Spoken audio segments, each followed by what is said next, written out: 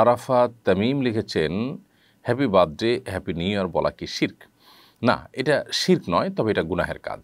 শির্ক হলো এমন কোনো কাজ করা যেটা আল্লাহর শানে শুধুমাত্র খাটে। সেটা অন্য কোনো মানুষের শানে যদি ফিট করি, তাহলে সেটা শির্ক হবে।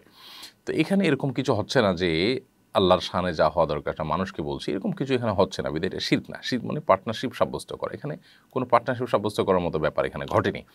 তবে happy birthday, happy new year এই জাতীয় কথা বলে আপনার যে আপনার জন্মদিবসকে উইশ করা হচ্ছে বা নববর্ষকে উইশ করা হচ্ছে, এগুলো প্যাগান প্রকৃতি পূজারী এবং নানান রকমের আপনার অপসংস্কৃতির সাথে জড়িত যে ধর্মবিশ্বাসের মানুষগুলো আছে, তাদের অনুকরণ, তাদের অনুসরণ, তাদের অন্ধ অনুসরণ বিধায় একজন মুসলিম এই সমস্ত বিষয়ে সাবধানতার সর্বোচ্চ লেভেলে তিনি থাকার চেষ্টা করবেন এবং সতর্ক থাকবেন।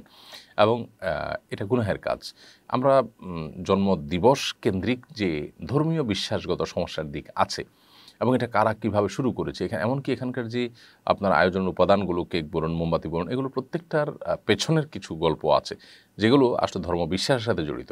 সেগুলো জানলে আমরা এগুলো আর করতাম না। আল্লাহ আমাদেরকে বেঁচে থাকার তৌফিক দান করুন। আমরা ইনশাল্লাহ এটা নিয়ে অনেকদিন থেকে চিন্তা করছি, ভিডিও, একটা স্বতন্ত্র ভিডিও ক্লিপ তৈরি করব।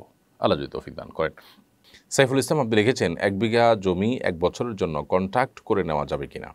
এক বিঘা জমি এক বছরের জন্য আপনি ব্যবহার করবেন বা আপনি চাষাবাদ করবেন, নিতে পারেন। তাহলে সেক্ষেত্রে আপনি ভাড়া দিয়ে দিবেন। ভাড়া এক বছরের জন্য ভাড়া ধার্য করে সেটি দিয়ে আপনি নিতে পারেন। কোনো অসুবিধা নেই। শারমিন আক্তার তিশা, আপনি লিখেছেন, আমাদের কোনো ভাই নাই। আমার বাবা মায়ের বয়স হয়ে গেছে। আমার বোনেরা সবাই বিবাহিত। আমি ঘরে বসে অনলাইনে একটা কাজ করি, সেটা সৎ পথেই। সেটাকে আমি আমার বাবা মাকে দেই, কিন্তু আমার স্বামী জানে না, এতে কি আমার গুণা হবে? যেহেতু আপনার বাবা মার বয়স হয়েছেন, তাদের চলতে অসুবিধা হয় এরকম যদি হয়, তাহলে সেক্ষেত্রে তাদেরকে আপনি আপনার উপার্জন থেকে টাকা দিতে পারেন বা চলতে অসুবিধা না হলেও আপনি তাদেরকে উপহার হিসেবে দিতে চাচ্ছেন, দিতে পারেন। গরমে বসে আপনি অনলাইনে জব করছেন, স্বামীর সংসারের বা স্বামীর প্রতি যে দায়িত্ব, কর্তব্য আছে, সেগুলো আদায় কোনো ত্রুটি না করে আপনি যদি শরিয়ার পর্দা মেনটেন করে আপনি অনলাইনে উপার্জন করতে চান, করতে পারেন, কোনো অসুবিধা নেই। স্বামী না জানলে আপনার গুণ হবে না, যেহেতু স্বামীর কোনো অধিকার আপনি নষ্ট করছেন না এবং শরিয়ার কোনো বিধান আপনি লঙ্ঘন করছেন না।